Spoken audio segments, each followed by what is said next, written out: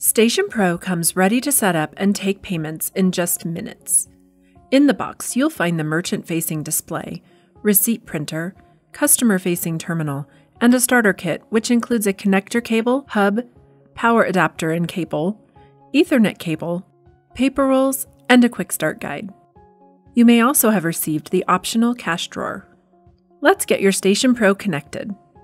With devices top down, first, attach the end of the connector cable with green arrows to the display.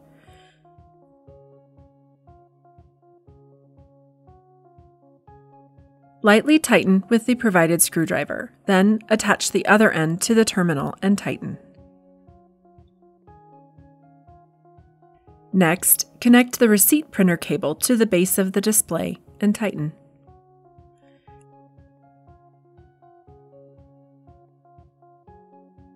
Connect the hub to the display and plug one end of the power adapter into the hub before placing each device right side up. To power on your Station Pro, simply plug it in. Select the language for your setup. And now let's connect to your network and activate your device. You can connect via mobile, Wi Fi, or Ethernet, whichever works best for you.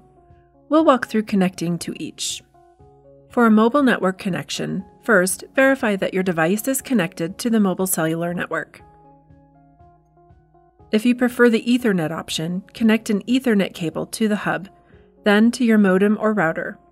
Your device will automatically connect to the internet and notify you when successfully connected.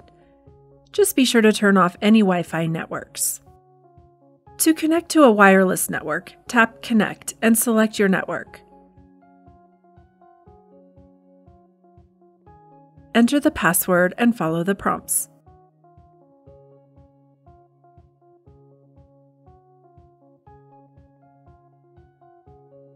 Now that you're connected, Clover Support will send you an email with an activation code for your device. The code will be sent to the email address used to set up your merchant account. On the activation screen, enter the 8 digit activation code.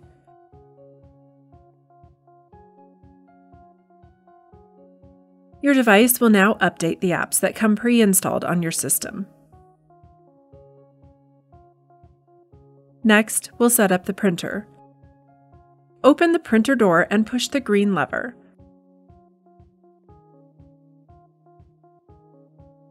Insert the paper roll and close the printer door until it clicks.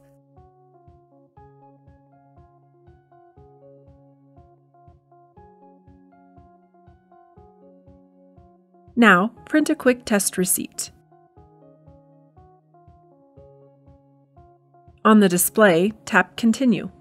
Next, select your Clover service plan and any third party apps you want to use. Apps can also be added later with the More Tools app on your Clover device, or under More Tools on the web dashboard. Now, let's customize your Station Pro. If this is the first Clover device you're activating, you'll be prompted to enter an admin passcode. If you already have an admin or owner account, the setup process will skip this step. Unlocking your Station Pro is easier than ever with its fingerprint sensor, to capture a fingerprint, follow the instructions on the screen.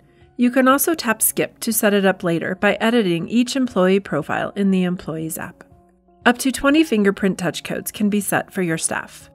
Next, you'll set where to prompt for customer signatures, either on the device or on a printed receipt. And last, review and authorize the device fees and monthly totals for your account. To learn more about getting started, go to clover.com/help.